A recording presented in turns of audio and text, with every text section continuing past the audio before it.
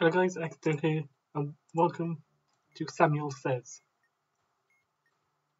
So this is what the module looks like, and the only thing I can say right now is this is what we're going to press to start, and this is what we can press to turn on colorblind mode. Other than that, let's just get started. So we'll see flashing colours in two different types of length. We only have one here, but Oh yeah, you can also press this button to mute it, which we're going to do for this just in case it's coming up while talking. So, you can see, you can turn it back on again by pressing it again. We have colours flashing in a certain order, in certain length, which these are all dots by the way. These are all dots, but the dashes should just be longer. So let's note this down. Red, yellow, red, and dot, dot, dot. I'm going to copy this because we're going to be modifying this sequence here on these first four stages. But we also have to keep note of the colour we press. We're going to take note of the colour we press and if any quirks happen. I'll go over the ones that I get during this and then go over the rest of them to the best of my knowledge at the end. So, got regular red, so we go in order, so red is first. The display sequence is dot dash dot. The display sequence is what we have. The modified sequence is what we currently have. This is what we had at the start. The display sequence is. So, the displayed sequence, okay, the initial sequence, it's dot dash dot. It's dot dot, so it's not. That's not right. Color red has appeared in every display sequence so far. This is the only display sequence we have, and it has red in it. So we're going to follow this rule, and we're going to make everything red. So this yellow will become a red.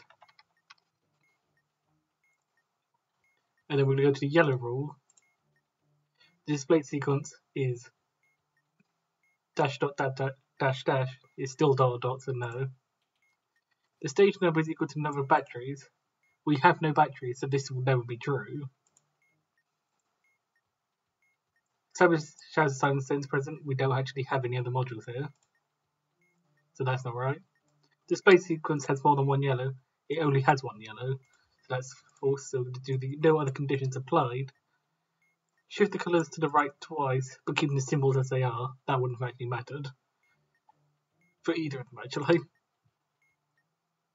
But if we had other colours, we would take the last two here and move them to the right.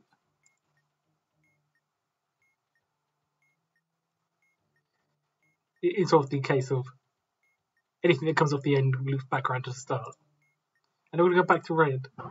If we get the same rule as the first time, we're going to use the rule above it as what it is. So the display sequence is still not that, but every display sequence still has red in it, but we've already made everything red, so we're now going to swap the dots with, with dashes. Swapping dots with dashes, be careful with this. We only have dots here, so this will change dashes, but the word with implies that dots go to dashes and dashes go to dots, so be careful of that. So we would normally calculate this, but we actually got an interesting case where all three are the same. So we know we're going to be pressing a red dash for this first one. To, to make a dash, you just hold the button until the dash appears on the small screen.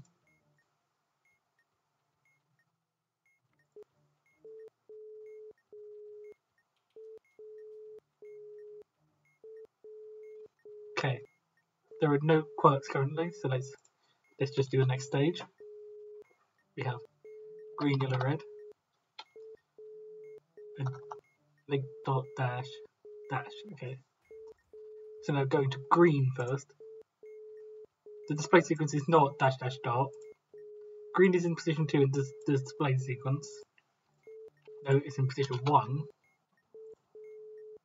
This is the first green display symbol so far. It is. We didn't have any greens in the first one, so this is the first green one we have. Change position 1 to green and the rest to red. So this yellow becomes red. On to yellow. The display sequence isn't this. The stage number is equal to the number of batteries we already clarified is not going to be true. This isn't going to be true because we don't have any other modules. The display sequence has more than one yellow. It still only has one yellow. So we're going to use this rule again to shift the colours to the right twice, keeping the symbols as they are. So we're going to move these two reds to the start, basically.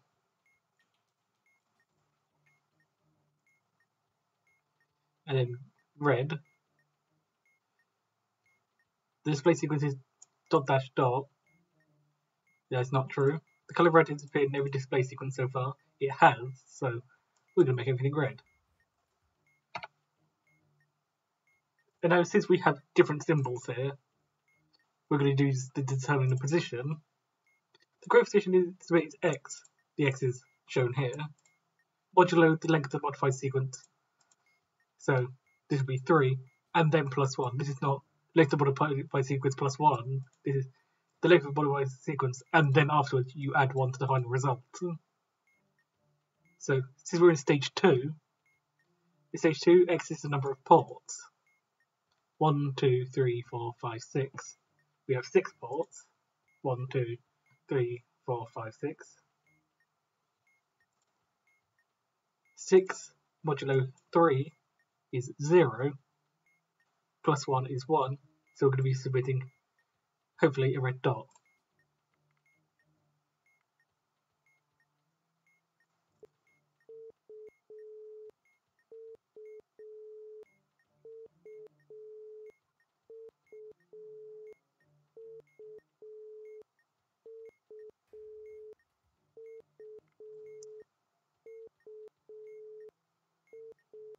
Okay, so I'm pretty sure this is blue, yellow, and this is dot dot dash. Just show you what the colourblind looks like. Just this. So, let's do this again. We still have no quirks, so so, by the way, we submitted red here as well. That's not the right Okay. Blue. This base sequence is that? No. There's been a blue in position 3 at any point in the modification process of this stage, including the space sequence. No, it hasn't. Blue has always been in the first position because we haven't changed anything. The space sequence did not form a valid Morse letter. Let's check if dot dot dash is a valid Morse letter. It is, it's uniform. So, that one is not true either. Every colour appears at least once across the spectrum because of the current modified sequence. We only have blues and yellows in both of them, so no. So, no other conditions applied. We're going to change the first two positions to blue and the rest to red. So these two are blue and that one's red. Then we're now going to do yellow twice. Display sequence is this, no. The station number is equal to no batteries, we already know that's not true. That's not, this is not true. The display sequence has more than one yellow. This is true. So we're going to change all position 3 to blue, which is what we have already.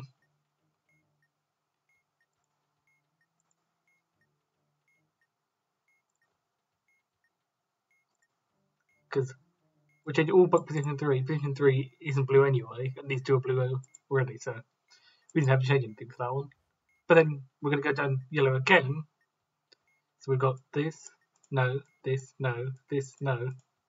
We've got this again, which is true, so we're going to go to one above it, make positions 1 and 2 yellow. Again, since we have different symbols, we're going to determine the position, determine using the number of indicators. We have one indicator, so that's going to be position 1 no matter what. Because 1 modulo 3 is 1, plus 1 is 2. So we're going to be selecting the second position, which is a yellow dot, hopefully.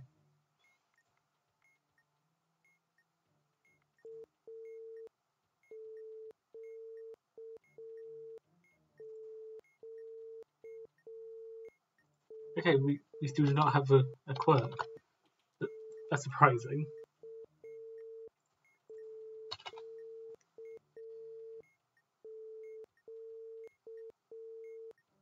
The green, blue, blue, blue. And dash dash dot dash. So, green. Display sequence is this, no. Green is in position 2 in the display sequence, no. Is the first green display symbol so far? No. the number of dots in the modified sequence the same as the number of unique port types. 1, 2, 3, 4, 5. No, that's not, that is not true. Another condition applies. We're going to remove position 2 and append a green dot. So we're going to copy this. We're going to move position 2 and append a green dot. And now we're going to do blue three times. The display sequence is this. No. There's blue, been a blue in, posi in position 3 at any point during the modification process, including the display sequence. That is true. So we're going to shift everything to right by one.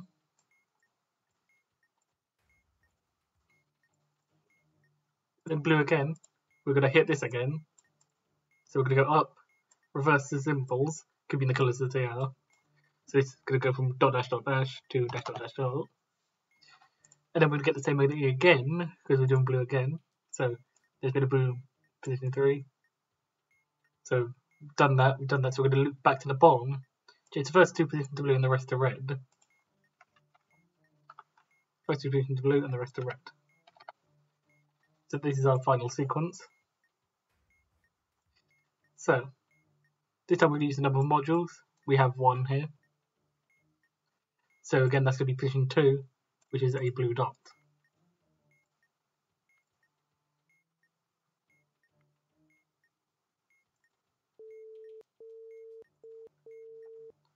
And then now we're on stage five. We're gonna I'm gonna show you what you need to keep track of both the colours you pressed and the quirks you got. So since we didn't actually get any quirks, let me quickly just go over what you can get, we have Ghost.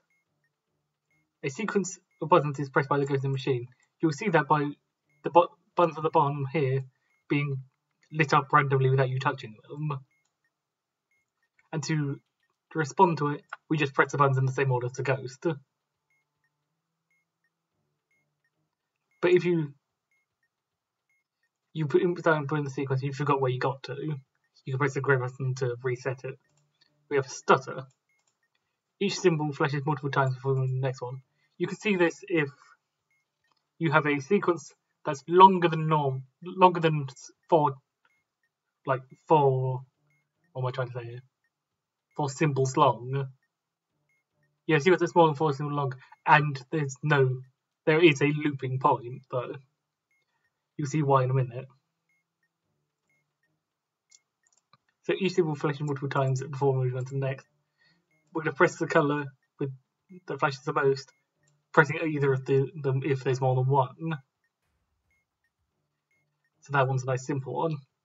So like for say this one, you'll go blue dot, blue dot, blue dot, yellow dot, yellow dot, yellow dot, and then yellow dash, yellow dash, or something like that. Rather than just blue dot, yellow dot, yellow dash. Unstable. One position in the display sequence will alternate between a, being a dot and a dash. That's why I always turn the sound back on, just to check if one thing went from a boop to a long boop okay, switching between them. In that case, we just press the, the button in reading order, which is position of this unstable one. Overclock, this is what I was talking about. There's no pause between the pieces of sequence. You can spot this by just constantly flashing with no clear point where, where it started. This one, you just spam the buttons until all the buttons light up. virus.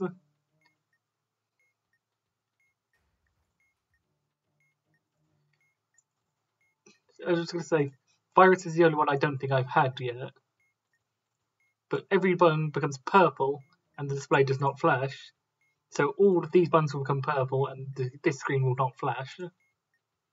If you can see that, this screen that's flashing right now won't be flashing and all of these will be purple. Pressing buttons according, press buttons according to the number of regular submissions so far. So if you've submitted one, as you can see, there's four here because you won't get one after four. Then you just press the buttons in that order. Discoloured, the small screen would light up to show colour. That's this small screen that you press to activate colourblind mode. And this one's nice and simple. Press buttons with colours according to the colour the display. To say you got cyan, you just press blue, yellow, yellow, green, and then continue on. And finally, stuck is if you it would be lit up, and if you tilted it up, you would see one of the buttons was pushed in. Touch the stuck button when the last digit timer n is n when n is the number of solved modules. So in this case, would have pressed it when the last digit was zero. So that's all the quirks. We didn't actually get any of the quirks. So we're going to use this rule. If no quirks appeared, leave the sequence as is. But first, so you need an entire word to be transmitted so you can use it to finally escape the device and design the module. Note that visually there's no difference between this stage and the previous four. And in this case, it looks identical to the previous stage. Take only the symbols for this display sequence, so So it's going to be dash dash dot dash again. So if this does not form a valid Morse letter, we're going to use the word Samuel. Let's just say this is a valid Morse letter, Q. So let's note that down for now. And since no quirks appeared, we're leaving the sequence as is. But if you had other quirks, you would instead remove, move or shuffle around the the symbols to get a different letter. If the sequence is now empty, or does not follow a valid Morse letter, we didn't change it, so it's going to be Morse. We'll use Morse as the word. The sequence being empty would be if you removed remove the first two positions, for example, but you only have two positions to begin with, so you get nothing. You would use the word Morse. But since we have Q, we have Quebec. We are now going to transmit the word Quebec, funny enough is the example here, as a string. So Q is that, U is this,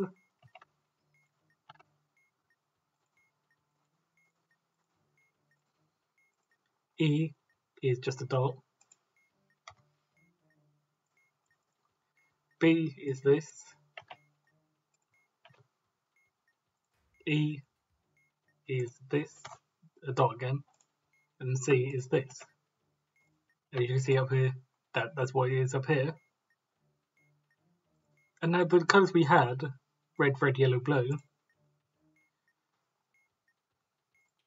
we're going to repeat that red, red, yellow, blue to input these. So, and looping back around to the start will run out. So this is what we're going to be inputting. So going to start with red dash, red dash, yellow dot, blue dash, we get Q, and then dot, dot, those two red dots, yellow dash, U, blue dot, E, red dash, red dot, yellow dot, blue dot, we get B, red dot, we get E, and then red dash, yellow dot, blue dash, and then finally red dot.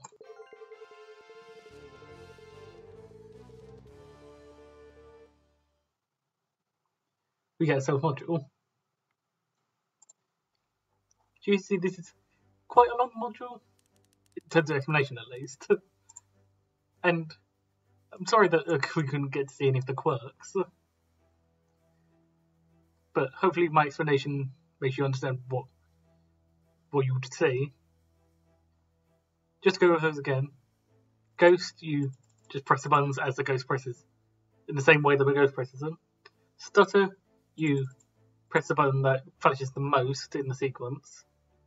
Unstable, you press the button whose position in really is the unstable one of the flipping symbol. Overclocked, the constantly flashing one is you repeat to press it, and from my experience, it's not going to be like instantaneous. You have to press it for quite a bit. Virus, I am got, but this is self-explanatory. Press buttons according to the number of regular submissions so far. So if you're on stage two, that would be one. If you're on stage is three, that'd be two. And if you're stage four, uh, that'd be three. And you press them in this order. Discolored, we just press the buttons in the order given by the colour of the display. And stuck is the only really time dependent one. We have to press when the last digit is the is modulated in the number of solved modules. So if we had like eight solved modules, we press it when the last digit was eight and then we go through this. So, for, so if we had two quirks appear and they were different, we would have shifted the whole sequence to the right by two. If three quirks appeared and only two were the same, we move the third position, for example. Checking uh, before and after if there's a there are valid words, and if either point isn't, we get given our word, Samuel or Morse. And then we spell out the NATO phonetic alphabet, the NATO phonetic alphabet word, using Morse code even. So yes, you might end up get, having to spell out November. You might get something easy as November, or as not easy as November, as hard as November, and then easiest is all the fi- the four letter words here. Anyway, hopefully you understand how Samuel says works. Hopefully this actually helps, despite the fact that you didn't get to see any of the quirks. But the, basically, the first four stages are the same. The last stage requires your notes from the previous few stages. So hopefully that makes sense. And I see you guys in the next tutorial. I'll see you later.